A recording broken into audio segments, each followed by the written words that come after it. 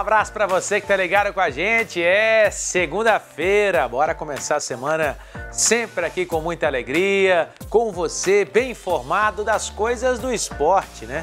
É, o Abrindo o Jogo está no ar com você aqui na TV Horizonte, canal 30.1. E aqui você sabe, aqui tem bate-papo, aqui tem informação, aqui tem opinião e o bom humor que não pode faltar. E aqui hoje, olha, não sei nem se vai dar tempo. Acho que a gente vai ter que aumentar o tempo do programa hoje, tem muita coisa. Vai falar aqui, ó, Campeonato Brasileiro, Série A, Série B, América e Atlético, só nota 10, nota 10, fizeram o dever de casa. Cruzeiro, ah, Cruzeiro empatou com o Brasil de Pelotas e agora tem um jogo difícil, hein? Amanhã contra o Curitiba aqui no Mineirão. Vamos falar também de Copa América, falar aqui ainda de Eurocopa e já vou trazer de cara aqui uma notícia que me deixou triste, né? Estamos fora da Olimpíada no basquete masculino. O Brasil fez tudo certinho. Chegou no último jogo com a Alemanha. Uh, os alemães foram mais competentes, eficientes e acabaram vencendo o pré-olímpico de basquete. E como é vaga única, os alemães vão para Tóquio, os brasileiros não vão mais para Tóquio. Vamos falar sobre isso e muito mais. E com isso eu quero que você participe conosco aqui do Abrindo o Jogo. Mas antes, lembrando você que aqui você nos assiste pelo canal 30.1 de TV aberta em Belo Horizonte. É, também nos assiste pelo YouTube, e aí é fácil. É só você acessar o YouTube e digitar lá TV Horizonte ao vivo, e você nos assiste também aqui. Ou então pelo aplicativo Rede Catedral, que vai aparecer para você agora aí é, na sua tela, o aplicativo Rede Catedral. Ele é de fácil manuseio e gratuito para você baixar na sua loja de aplicativos. Então basta você colocar aí o aplicativo Rede Catedral no seu smartphone e aí você estará tudo certo para assistir o nosso Abrindo o Jogo, tá bom? Participe com a gente, 31 99642 8473, também o Instagram e Twitter, arroba Abrindo o Jogo TVH, tudo isso está aqui embaixo, aqui ó, na nossa reguinha nas redes sociais para você aqui participar com a gente e mandando a sua participação, o programa fica bem melhor. Então manda para cá, viu? Não tenha preguiça não. Já coloque aí no seu smartphone 319 9642 8473. Vamos ao nosso trio de comentaristas aqui hoje para falar sobre as coisas do esporte. Vamos ver quem está com a gente aí já aqui na telinha do Abrindo o Jogo. Ah, olha aí, ó. Os três estão no jeito, informou aqui o nosso produtor, o nosso camisa 10, Henrique Faria. Olha, a Natália Fiuza, você tá de, de blazer hoje, Natália Fiuza? É isso que eu tô vendo daqui mesmo? Tá toda alinhada para participar da Abrindo o Jogo, é isso? Pois é, Paulinho, o frio apertou aqui, tive que colocar um blazer, viu? Mas aí já fico elegante, né? Para esse programa merece. é, a Natália Fiuza hoje veio de blazer, hein? Nós estamos podendo, hein, Vitão? Enquanto isso, você pegou a roupa que você dormiu, vestiu e veio, né, Vitão? O contrário da Natália, né? Não, eu tô com a camisa da Roma. Ah! E, e tô com, tô com um agasalho normal, um corta-vento ah, normal. Tá beleza. Ó, corta-vento. Na minha época. É, que, que, você usa pra correr, entendeu? Que ela não é tão quente, Isso. mas também protege do frio. Essa é Depois boa pra caramba. Depois eu vou te dar um canal. Não tô elegante você... igual a Natália, não, mas, mas passa, pô. Depois passa. eu vou te dar um canal você comprar umas bacanas que eu apresentei para o estagiário e o estagiário caiu no oásis. Começou a ficar louco na internet lá, falou que ia gastar dinheiro. Vou te passar, Vitão. Essas corta-ventos que você tem aí, viu? Cada uma mais bonita que a outra. E o Fábio Vital está com aquela blusa maravilhosa que ele trouxe quando esteve no Canadá, né? Aquela que cobre o pescoço ali, que não deixa o vento é, incomodar a garganta. Para ele que necessita da voz, a voz é o instrumento de trabalho dele. Ali está Fábio Vital. É verdade. Um abraço, Azeredo, Natália Fiuza, Vitor Martins. O meu corta-vento é um corta-vento mais simples, né? mais humilde, Paulinho. Mas estamos juntos aqui. Sem a elegância da Natália, sem o corta-vento do Vital, mas juntos sempre. É isso aí, com certeza. Estamos juntos, meu caro. Fábio Vital. Vamos para a enquete então, porque não podemos perder tempo, não. Hoje tem coisa demais aqui no Abrindo o Jogo, hein? Tô até esquentando a mão aqui, ó. Ainda bem que o ar-condicionado tá desligado aqui hoje, né? Porque senão a gente vai passar mal aqui. Vamos lá. O Brasil venceu o Chile por 1 a 0, né? E agora está nas semifinais da Copa América. Comparando com os europeus, a seleção está melhor do que os semifinalistas da Eurocopa, igual, pior. O que vocês podem dizer aí, ó? Natália Fiuza? O pessoal fala, o Vitão ontem participou comigo do meio de campo, eu concordei com ele na participação dele, porque também já usei essa frase outras vezes aí, não sei quem que falou isso primeira vez, mas enfim. Quando você assiste a Eurocopa e Copa América, parecem dois esportes diferentes. Mas e a seleção brasileira? Tá bem aquém aí, vamos colocar aí, de Espanha, de Itália, de Inglaterra e de Dinamarca? Paulinho, eu concordo para você que são campeonatos bem distintos, né? Dá vontade de ficar assistindo só a Eurocopa. Eu, pelo menos, tenho essa impressão. Mas acho que o Brasil está no nível, assim, consegue competir. Acho que as seleções europeias ainda estão num nível acima, são superiores, mas não vejo o Brasil assim tão inferior, não. Acho que tem time para brigar quase que de igual para igual. E aí, na hora do pega para capar, ô Vitão? Um Brasil-Itália hoje, um Brasil-Espanha um Brasil Inglaterra, um Brasil Dinamarca. O Brasil vai passar apertado? O Brasil não passa. Não passa. É, é, é a mesma coisa você tá jogando estadual e o pessoal tá jogando o Campeonato Brasileiro de Série A. Quando você joga entre os melhores, você fica melhor. O Brasil tem muita qualidade, mas tá batendo no, nos times de campeonato estadual. Ele precisa ter a Copa do Mundo, ter essa rodagem, de, ter, de fazer os amistosos, encarar essa turma da Europa, porque a gente vai ver igual foi a última Copa. É, na última Copa, é, sobrou nas eliminatórias depois da entrada do Tite, pouquíssimos jogos contra europeus. Quando chegou na Bélgica, foi o primeiro grande desafio. Lembrando que já não, não ganhou da Suíça, né? Na estreia da Copa. E quando pegou a Bélgica, levou um vareio de bola no primeiro tempo, tomou 2 a 0 até foi muito bem no segundo, mas não conseguiu nem empatar. Então, assim, eu acho que está abaixo, não pela qualidade dos jogadores, mas não está jogando contra os melhores, está jogando contra times que são muito inferiores.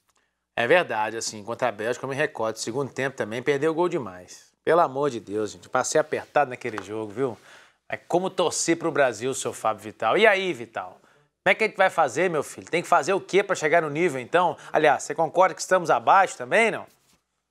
É, são competições distintas. Eu concordo com o que disse a Natália, um nível técnico muito superior, né, em, em relação à Copa América, quando assistimos à Eurocopa. E o que disse o Vitor também eu acho importante. É, mas eu fiquei satisfeito, Paulinho, mesmo com o sofrimento contra o Chile. Aquele gol brasileiro foi muito bem executado, né? Passes curtos, rápidos, teve é, toquinho de calcanhar, né? De costas, enfim. Eu gostei, eu acho que o, o futebol brasileiro começa a ressurgir das cinzas com a, a, seleção atual brasileira. É claro que a CBF sempre é um ponto negativo, né? E tudo que tem a mão da CBF não é legal. Ultimamente, assim, a cada programa, a cada semana, registramos aqui né, a nossa insatisfação e as ressalvas em relação à CBF, e a seleção brasileira é mais uma, uma, é, uma perna, né, um produto da CBF, e acho que é também nesse momento contaminada pela, pela falta de ineficiência de gestão da CBF. Mas eu fiquei satisfeito. É claro que o nível europeu é muito superior, né, Paulinho? Se paga na Europa, é, os valores que os clubes arrecadam, toda a questão da gestão de marketing é muito diferente. É de lá que vem os melhores. A seleção nossa tem é, a absoluta maioria de jogadores que jogam por lá, eu acho que sim, pode dar liga. Agora, de fato, se hoje uma seleção europeia enfrentar o Brasil, certamente teremos mais dificuldades. Mas eu gostei, eu acho que o Brasil está em evolução e quem sabe para uma Copa do Mundo aí chegue é, em pé de igualdade na disputa, na vontade, pelo menos, para brigar com seleções europeias. Pois é, quem gosta de gols aqui é o nosso grande Tuniquinho. Alô, Tunico! É, Tuniquinho é barbeiro da Conde de Linhares, grande Conde de Linhares, barbearia Conde de Linhares, na região centro-sul ali. Um abraço pro Tuniquim, pro André, pro Cleblão, opa, pro, pro Clebão. Tá todo mundo assistindo a gente lá sempre. Vamos trazer os gols da Copa América. Rapidinho, vamos de gols aqui dos jogos das quartas. Primeiro, vamos com o Paraguai, que saiu, né? Peru e Paraguai. Foi um jogaço. Teve gol aí do Gustavo Gomes primeiro. Assiste esse jogo, hein? Aí depois o Peru vai fazer 2 a 1 um, né? Vai fazer 2 a 1 um. O Lapadura aqui, aliás, é, ele é. Ele, se eu não me engano, é naturalizado. Ele é italiano, né? Naturalizado peruano.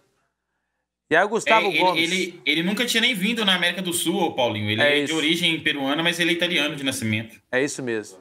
Aí o Gustavo Gomes tomou o segundo amarelo nesse lance. E aí, olha aí, ó, Júnior Alonso na raça. Foi o melhor em campo para mim, jogou muito, viu? O, o, o, Paraguai buscou o resultado duas vezes com um a menos, né, Paulinho? Isso, isso aí foi um gol quase no finalzinho, 39 mais ou menos. Aí o Carrilho foi expulso pro Brasil, foi ótimo, né? Porque ele é o melhor jogador do time do Peru aí. E aí no finalzinho ali, ó, saiu esse gol esquisitão aí, ó. Centroavante, me esqueci o nome aqui do News Old Boys. É o Avalos. Gabriel Avalos do News Old Boys. Aí são os pênaltis, né? O Trauco, ex-Flamengo, bateu e fez 4 a 3 para o time do Peru. Aí já estamos em Colômbia e Uruguai. Foi, foram só pênaltis, né? Porque o jogo foi 0 a 0 e a Colômbia teve mais competência e avançou nas cobranças de penalidade.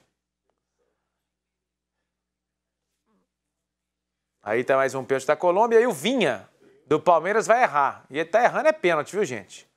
O Vinha. E aí finalizou 4 a 2 o Vinha lateral do Palmeiras. Aí já estamos com Argentina e Equador. A Argentina saiu na frente, o Equador teve até uma chance. Ontem o Vitão lembrava também no meio de campo, né, Vitão? Do Alan Franco, quando estava 0 a 0 ainda, para fazer 1 a 0 E aí depois do finalzinho aí teve esse gol do Lautaro Martinez. E depois um golaço do Messi, que antes tinha sido marcado pênalti. Aí voltaram atrás, marcaram falta, mas para ele falta é quase pênalti mesmo. Ele bateu ali no ângulo e fez o gol. E aí é o Brasil. Gol do Brasil marcado pelo Paquetá, o Lucas Paquetá. O Brasil já estava com um a menos aí nesse momento e o Gabriel Jesus ele foi expulso, a gente vai mostrar a expulsão dele. O Gabriel Jesus ele lutou karatê no meio campo, né? Um negócio ridículo assim, que realmente é, olha lá. Aí você vai ver, ah, disputa de bola normal, né? Ô, é. Paulinho. Oi. Outra coisa que, que mostra muita diferença da Eurocopa para a Copa América são os gramados, né? É verdade. você é vê a perfeição dos gramados na Europa, você vê esse jogo do Brasil, é, é, é ruim de ver até por isso. Gramado pintado para não parecer areia, né? Tá aí para você. Vamos aproveitar também e conferir como é que ficou então o chaveamento aí das semifinais. A gente falou aqui rapidamente, mas põe na tela. Olha aí, ó. Ficou de um lado Peru e Brasil, jogo hoje, né? Às 8 horas. E amanhã tem Argentina e Colômbia. A final é no sábado, no Maraca, no Rio de Janeiro. Eurocopa também tem seleções que estão indo para as semifinais, hein? Vamos conferir resultados? Olha aí, a Espanha empatou 1 a 1, passou nos pênaltis, 3 a 1. Bélgica perdeu para a Itália, jogaço da sexta-feira, 2 a 1. Esse eu assisti com o Pedrão lá em casa, Dinamarca e República Tcheca. Dinamarca é a surpresa desta Euro. É, Dinamarca 2 a 1. A Ucrânia levou uma sapatada da Inglaterra, 4 a 0. E o chaveamento ficou assim, ó, das semifinais da Euro. De um lado, a Inglaterra com a Dinamarca, do outro, a Espanha com a Itália, final em Wembley. A Inglaterra nunca ganhou a Euro, hein? Pode chegar uma final em casa e tá apostando nisso aí, o time da Inglaterra. E vamos finalizar esse primeiro bloco com a escalação da seleção aprovável para o jogo de hoje com o Peru nas semifinais da Copa América. O Brasil está aí ó, na tela para você, deve ir a campo com Ederson, Danilo Marquinhos, Thiago Silva e Renan Lodge. Mudou muito pouco, né? Fred, Casemir, Paquetá, que aparece de titular na vaga do Gabriel Jesus, Neymar, Richarlison e Roberto Firmino. Tá a foto dele com aquele sorrisão estampado na frente ali do time brasileiro. É isso. De primeiro bloco, a gente vai para o intervalo, daqui a pouquinho a gente volta.